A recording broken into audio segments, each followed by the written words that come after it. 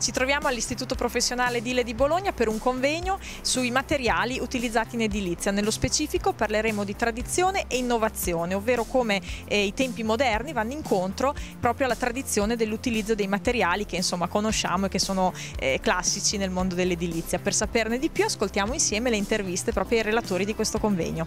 Il materiale usato in edilizia per eccellenza, la calce, è ancora utilizzato? Diciamo come va incontro al mondo dell'edilizia moderna questo materiale tradizionale? Tradizionale? Beh, il mondo sta cambiando. La contemporaneità è fatta di materiali naturali, ecosostenibili. Quindi si ritorna necessariamente alla tradizione, alla tradizione costruttiva, che non è un tornare al passato, è guardare al futuro cercando di mantenere sano l'ambiente, l'ambiente in cui viviamo, le nostre case, ma più in generale eh, l'ambiente, la terra, insomma. Beh, la calce, la calce è uno dei materiali storicamente più noti, lo troviamo dalle piramidi, insomma, all'età romana, all'età greca, nel Rinascimento.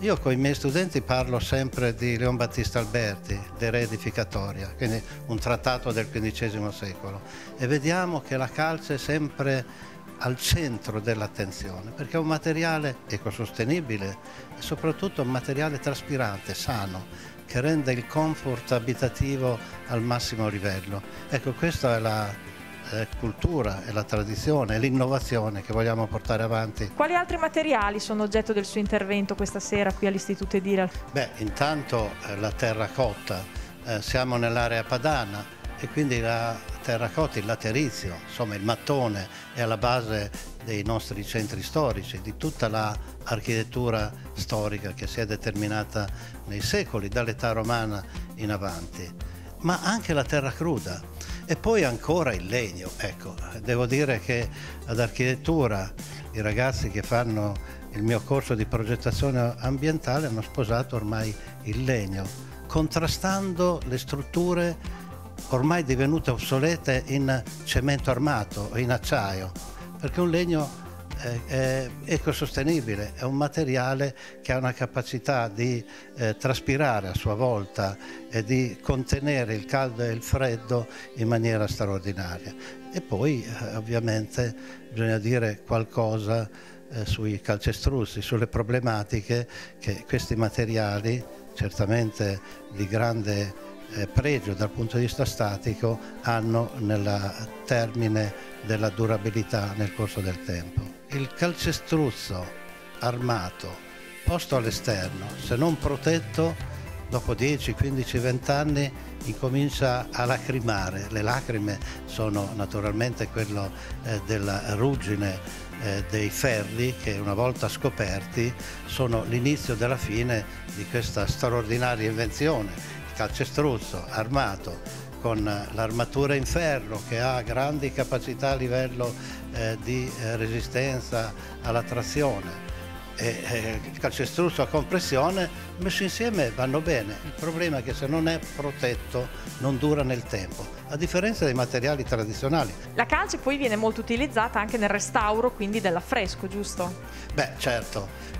La calce è alla base di tante tecniche tradizionali eh, penso all'affresco in primo luogo, che è proprio una eh, cultura, cioè è la calce, la malta di calce che viene eh, distesa su tre strati sulle murature e che poi nella parte finale, quella che si chiama la fine, quella di finitura, eh, diviene affresco perché vengono messi colori, colori che rimangono fra virgolette in eterno perché c'è una reazione chimica fra la calce, la malta di calce e naturalmente i colori. E così è per tante altre tecniche, ad esempio il finto marmo e quindi un eh, materiale che si adatta a moltissimi usi che sta tornando largamente in auge.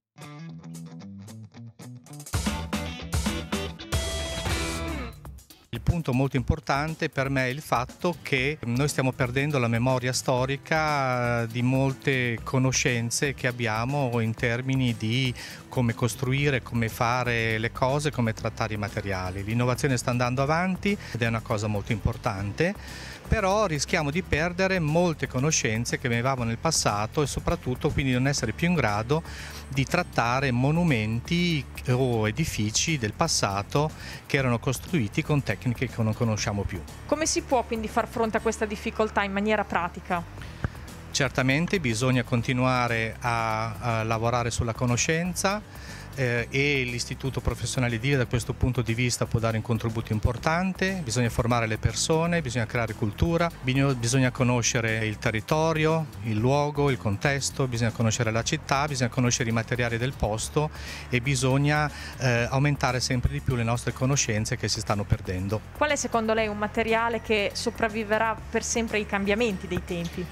Beh, I materiali innovativi sono tanti, però eh, la città di Bologna è costruita di, con arenaria, con laterizio, eh, con calci che sono appunto derivate anche da materiali del luogo, eh, ha dei bellissimi edifici costruiti con eh, materiali come il legno, il legno storico, i portici di legno di una volta, non possiamo permetterci che siano abbandonati. Quindi questi materiali della nostra tradizione eh, devono in qualche modo essere tutelati e conservati, per non parlare poi di di tutto il problema degli intonaci, sappiamo adesso quanto siano importanti i portici della nostra città e quanto sia importante poterli conservare e tutelare eh, nel giusto modo.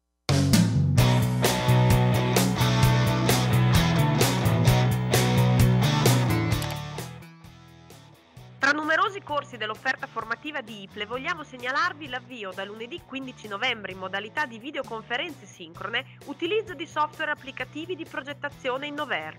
Giovedì 25 e venerdì 26 novembre pastellone e coccio pesto le superfici continue a calce, 8 ore in presenza.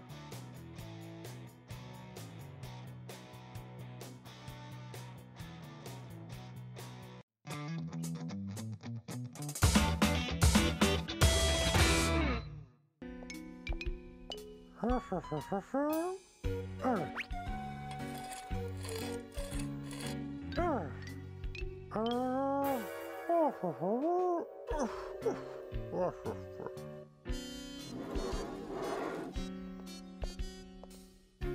はふうふあふふあふん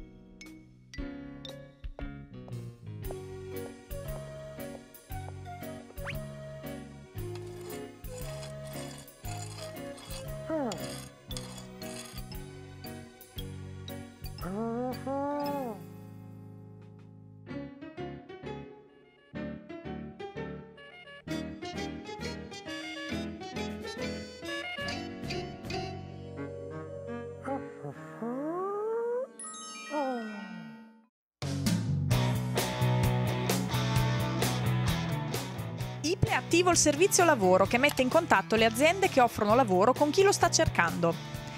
IPLE cura i colloqui per l'inserimento nel mondo delle imprese, esplorando la storia formativa e professionale dei candidati, che sono i corsisti FTS, formazione tecnica superiore, i ragazzi FP, formazione professionale, spesso già introdotti in azienda attraverso periodi di stage, e vari utenti segnalati dal centro per l'impiego o provenienti in generale dal mondo dell'edilizia.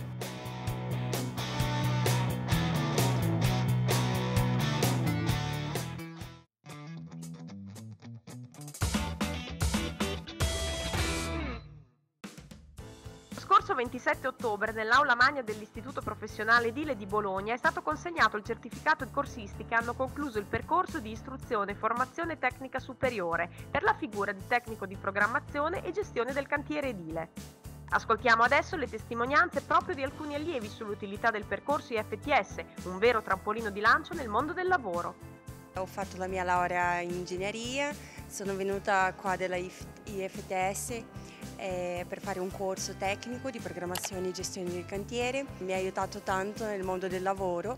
Eh, adesso sono inserita in una impresa edile qua a Bologna e grazie a loro che hanno fatto questo corso. Sono molto orgogliosa di aver preso parte a questa esperienza IFTS finanziata dal Fondo Sociale Europeo perché mi ha fatto scoprire un ambiente, quello del cantiere e delle costruzioni, eh, ricco di potenzialità eh, di cui ignoravo le caratteristiche fino ad ora che mi sta dando grandi soddisfazioni sia lavorative sia di eh, esperienza a tutto tondo. Eh, sono laureata in architettura e grazie a questo corso ho subito trovato lavoro in uno studio tecnico e mi ha dato l'opportunità di, di conoscere e di studiare materie che non avevo ancora mai affrontato e di vedere nella pratica ehm, quello che effettivamente è il, è il mondo del, del, lavoro edile e del cantiere e di tutto ciò che, che gli sta intorno.